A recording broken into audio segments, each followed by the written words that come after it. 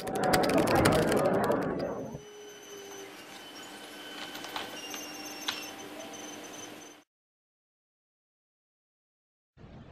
and welcome to part 8 of machine learning and pattern recognition for the use of algorithmic trading in stocks and forex where we left off.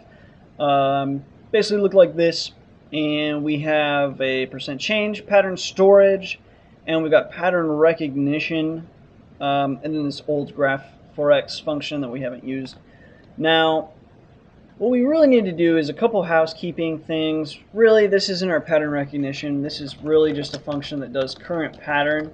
So we'll rename that to current pattern. Next thing I'd like us to do is instead of, let's see, pat for rec, we'll take this out because we want this actually to be a global variable. So we'll cut that and paste this pat for rec empty uh, array or empty list up at the top and take it out of current pattern. Once we've done that, now let's actually make our, our real pattern recognition function. So that didn't really make much sense as I was about to do this. So now we're going to define our pattern recognition function. So that's going to be define pattern recognition, empty parameters, come down. And now what we want to do is for each um, each pattern in our pattern array that we have, we want to compare that to the current pattern in question. So uh, we're literally going to do an array or a for loop that does that. So for each pattern, so you just kind of make up each pattern, right? This is defining a variable. So for each pattern in that array, pattern array, what do we want to do?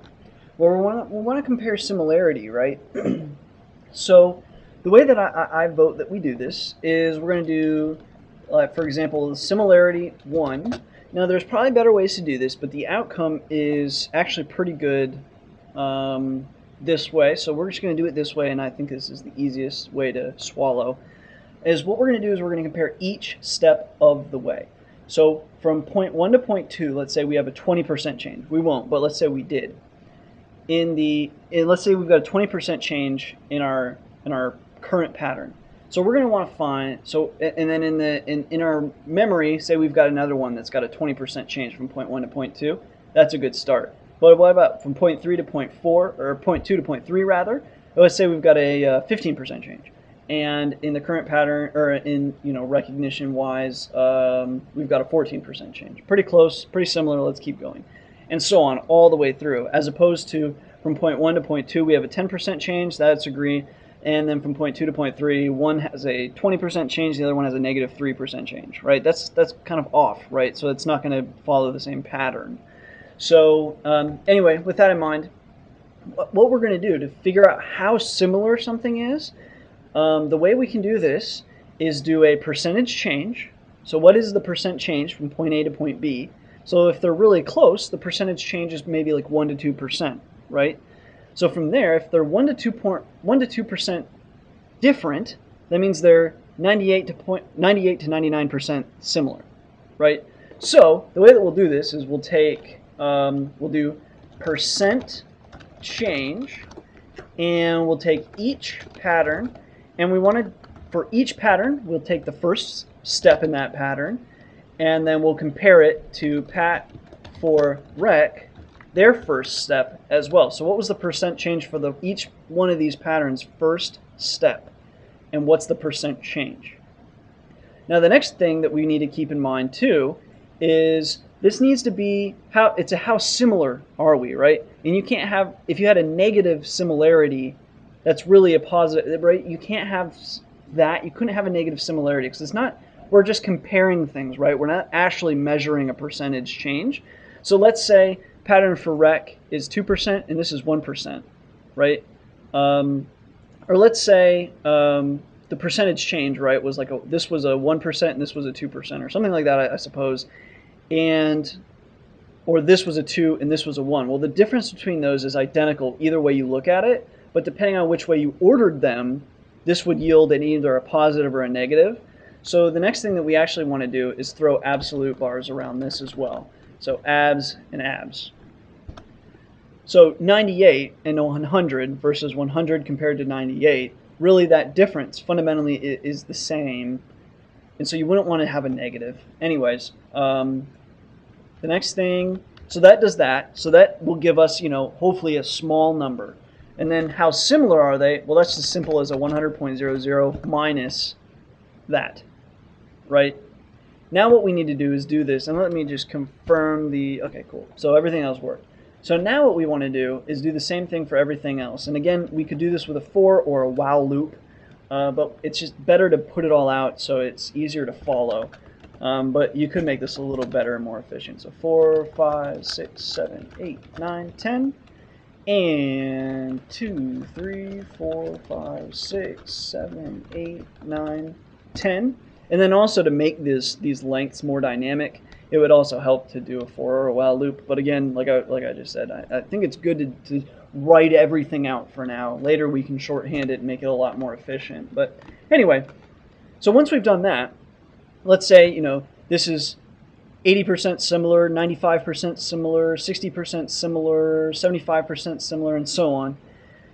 The next thing we want to do is let's just average all of the similarities together, right? So how sim overall are we? Well, probably the easiest way to do this would be just how sim equals sim 1 plus sim 2 plus sim 3 plus sim 4 plus sim 5 plus sim 6 plus sim 7 plus sim 8 plus sim 9 plus sim 10 divided by 10.00. Don't forget your decimals just in case. But it's pretty likely all these will end up as a, as a decimal. Anyway, um, so that will do uh, how similar. And again, once we streamline this, this would also be streamlined, so you wouldn't have to type it out so badly. But anyway, that's that. Now, now what we want to do is let's say um, we require everything to be, um, let's say 70 we want the only patterns we want to know about are ones that are 70% um, the same. So we'll just say if how sim is greater than 70 um, now we want to know some things. So first of all um, we want to know um, let's go ahead and print out um, no, no, uh, no quotes there. Pat 4 right so this is the pattern we're using. Then we'd want to say print each pattern. And then not only that, we actually want to know what the outcome is, right? So first, um, let's do some stuff to, to split these up. Because chances are we might actually have a few that match. So I'm just going to put some symbols in here to help us like visually read these printouts when they come. So we'll do that, that, that, and then between the pattern for recognition and each pattern, let's put, I don't know, some of these equal signs just it helps a lot to split it up visually and so just put those in there. Now what we need to do again is we, once we compare the patterns that's great we can compare patterns but we also want to pull what is the outcome right? What's our predicted outcome? So the next thing we need to do is not pattern for recognition but each pattern remember how they we store not only the patterns in the pattern array we store the performance right? That future performance of that pattern in the performance array so now when we come down here, what we need to do is figure out, first of all, what number in that array are we? So we'll call this patdex. And that patdex is going to be pattern array dot index each pattern. And if you recall, each pattern is in reference to this, for each pattern in pattern array. So each pattern is an array, right? So it's an array within an array, keep that in mind. Now it's going to take each pattern and it's going to run it through the pattern array to get the index number. So the number in that array will correspond to the patdex. So then that means our predicted outcome will be um, performance array and then patdex. You know, so whatever the patdex number is. So let's say patdex is 500. The outcome would be performance array 500, right? So what we'll do is we'll come down here and we'll just do um, print and then we'll do some of this. And then we'll say print and um, we'll just say I don't know predicted outcome. And then keep in mind this is a percentage change. And we'll do performance array and we want patdex cool. Now the next thing we want to do we might want to add like a five second timer just in case, but I don't I don't think 70 is going to be too uh, too liberal. So we'll save this. And you'll see later on, actually, we'll end up lowering the how similar array probably. So I don't think we'll get too many, but since we'll be referencing a full day's worth and our pattern's only 10 long, we should get a, a healthy amount. So uh, what we want to do now really is let's actually go to the bottom because we need to call a few things to happen at the same time for us now. And let me just shorten the gap here. Okay, so first we need to store the patterns. So we'll run pattern storage first. Then we need to know what's our current pattern. So we'll take current pattern, run that. Subsequently, we want to do um, pattern recognition, which is what we just finished building right up here. And now, kind of like before, we want to have like a full runtime of the entire script. So I'm just, before we load this NumPy array, because that takes a few seconds, we're just going to do total start equals time dot time right at the top of the script. And at the bottom, after we've run everything, we'll say total end equals time dot time. And really, actually, here's what we'll do. We'll just total time will equal the current, you know, time dot time minus total start. I think that was the right variable. Let me just make sure. Yeah, total start. And then we'll just print out um, entire processing time took, oops, comma, total time and uh, seconds. Okay, oops. What's doing there? Save. Alright, hopefully we haven't left anything crazy here. We'll run it, see what we get. Okay, so it's running. I'm going to try, okay, drag it over in time. So it's storing everything, stores all the patterns. Wow, we got a lot of patterns. I figured with 70 we wouldn't get so many.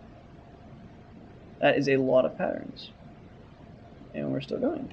Let me just. Okay. Control C will interrupt this. So, so uh, let's see. Do we do greater than 70? We did. Let's say let's do 90 then. Let's see if we can. Um, since it is a large array, I just want to see like a full processing time printout for you guys to see where we're where we are.